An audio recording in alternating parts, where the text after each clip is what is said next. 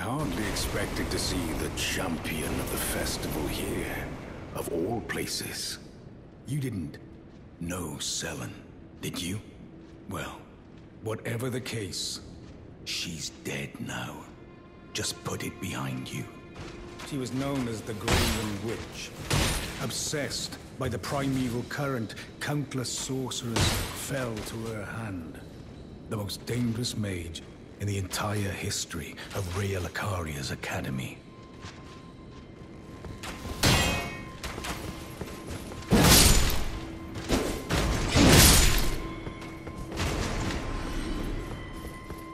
It is strange, though. The woman, she was like a husk. Her soul already fled. I suspect Sellen lives on, elsewhere. I'm sure she'll turn up eventually, in another body. A sickening thought. But one that won't stop gnawing at me.